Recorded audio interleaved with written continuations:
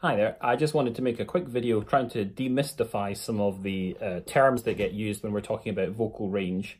Uh, I've had a lot of people asking me, um, you know, what it all means, particularly when they're trying to uh, fill in profiles for Spotlight or for Mandy and you want to be able to say what your vocal range is. And it is sometimes quite important because if you're applying for a musical or something, uh, they want to be able to tell immediately whether you've got uh, the right range for the songs uh, for the role that you would need to fulfill.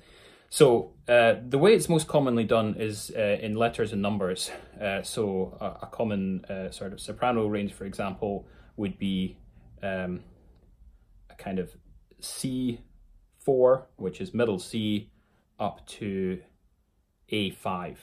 So let me just explain what that looks like. Um, a piano is a kind of essential tool here. If you can get access to a piano, then that makes things a lot easier.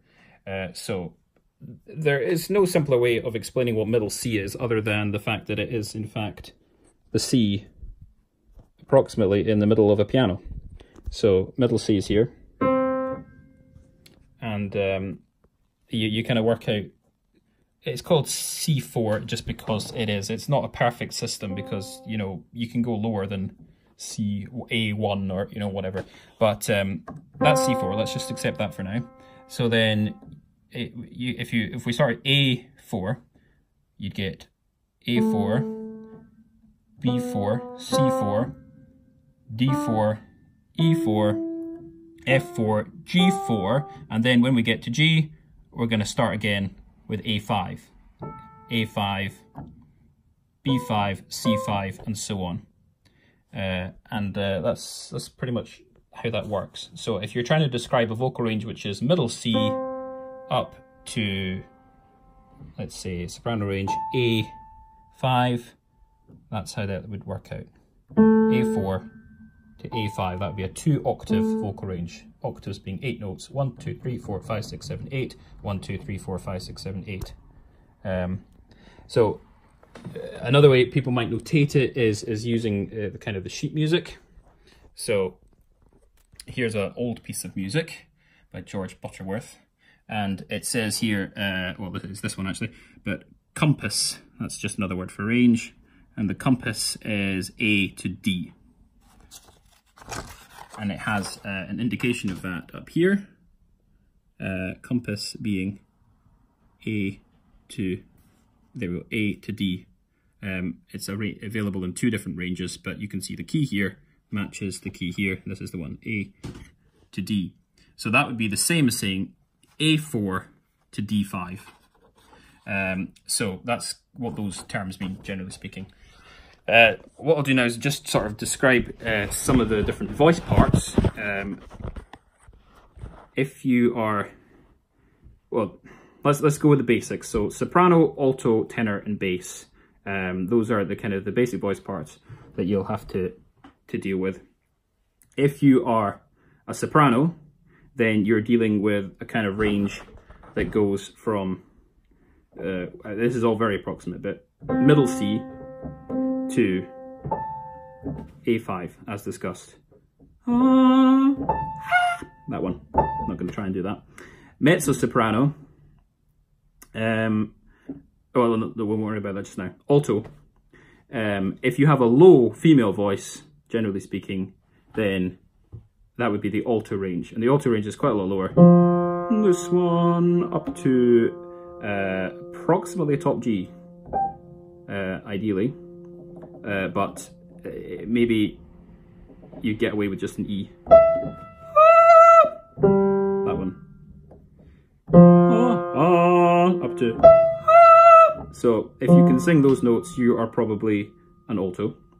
Um, then you're into male voices, so changed male voices. So a, a, a boy whose voice is broken, um, changed.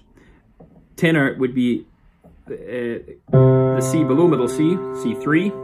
Ah, or rather up until a top G ideally. Ah, and then if you're Pavarotti, you need to be able to go right up to these notes as well. Ah, but don't worry about that too much. A top G should suffice. Now, it's all a bit different in musical theatre and stuff because you're expected to be able to belt like really high um, notes and, and what have you. But nonetheless, that's that's the official wisdom, C to G. Um, bass, you need to be able to get down to a top, uh, bottom F ideally, or even a bottom E. And if you're Russian, these notes will also be needed. And uh, up to an E.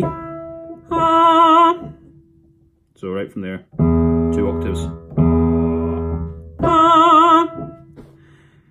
There's obviously voices in the middle of these as well. Um, the easiest way to think about it is that these kind of sit in the middle. So you've got soprano, you get mezzo soprano, which is just one notch below that. So that might be going a little bit lower and being able to um, being able to sing it a little bit lower and not having to go as high.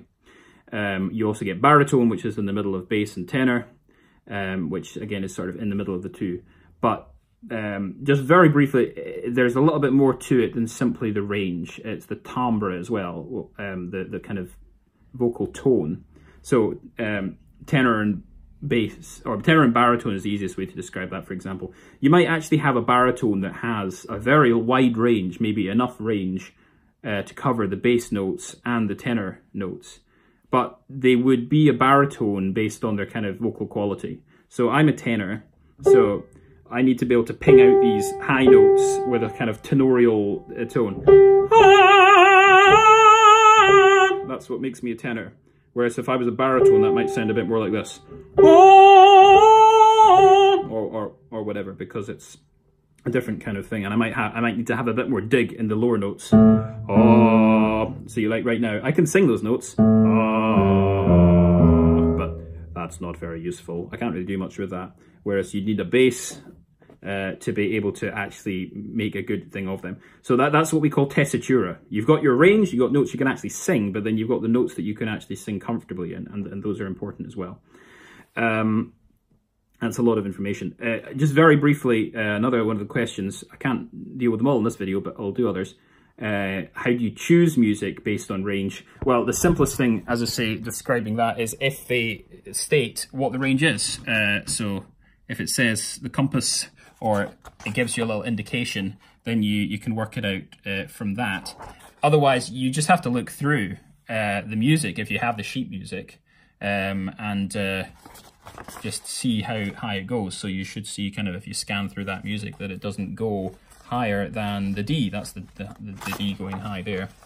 Um, and it doesn't go lower than the A. Uh, but realistically, nowadays most people are just going to be working off chords and things, so you just have to kind of listen to the recording, I guess, and um, a recording uh, in the key that you will be singing it, and just make sure it doesn't go above. But nine times out of ten, you know, you'll have you, you need a vocal tutor or something that can help you with that, and they'll be able to tell you immediately uh, what the range of a piece is. Um, but it's not just about whether you can sing the notes, it's also about where your voice sits. That's the important thing. So, for example, although I could sing this particular piece in this key, come my own one, come my fond one, come, it's not very, it's not a very good idea for me because I'm a, I'm a tenor, so I need to be singing in this key. Come my own one, come my fond one, come my dearest unto me.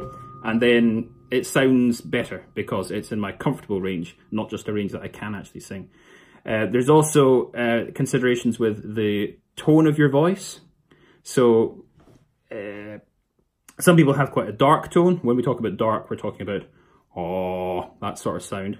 Some people have quite a bright tone. We're talking about, ah, oh, and ah is kind of a description of dark and bright. Um, so some songs might work really well uh, for you and some might not generalization, massive generalization, but like a nice slow ballad, something like, um, uh, I, am going to get copyrighted, aren't I, if I sing anything. But uh, let's just imagine a nice slow ballad that kind of goes...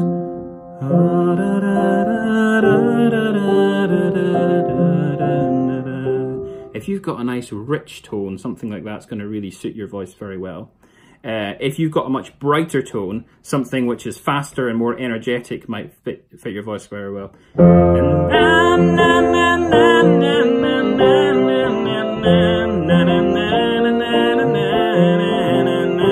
You know, that sort of thing.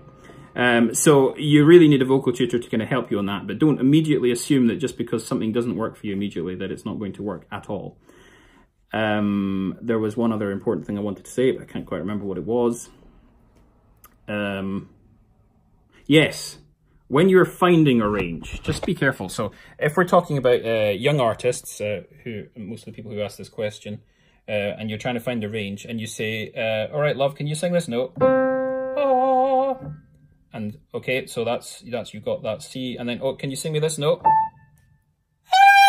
The the chances are they're not just going to be able to sing it immediately, okay? So you need to sort of work up, and ideally, this is why ideally it'd be tested by a vocal tutor rather than just somebody sing at home. But give them a run up. An octave and a ninth works well, so. And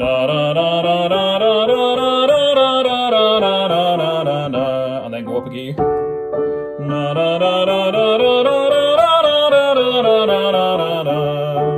And so on. And then and then you can get a better representation of what notes they're actually able to sing.